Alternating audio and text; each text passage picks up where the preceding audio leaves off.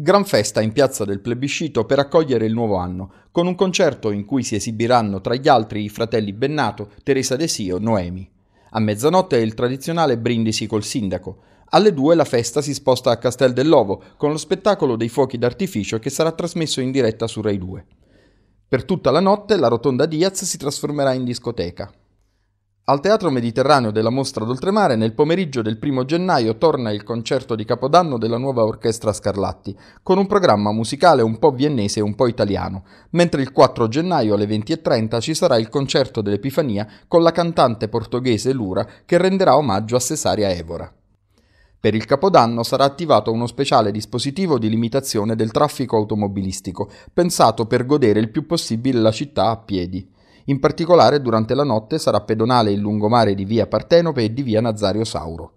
La linea 1 della metro, la funicolare centrale e quella di Chiaia funzioneranno per tutta la notte, mentre gli autobus termineranno le corse alle ore 20 del 31 dicembre per riprendere alle 6 del mattino del giorno dopo.